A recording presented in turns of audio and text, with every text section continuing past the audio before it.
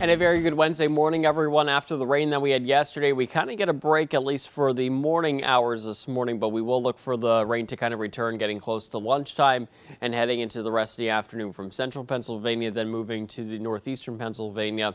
Otherwise, pretty cloudy and mild for today. We'll have our temperatures. We've already had those into the 40s and 50s this morning, back up into the upper 50s to near 60 by this afternoon.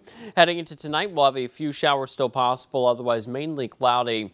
Lows tonight falling into the lower and mid 40s. Average highs for this time of year into the low and mid 30s. Average lows typically into the teens and 20s, so still well above average.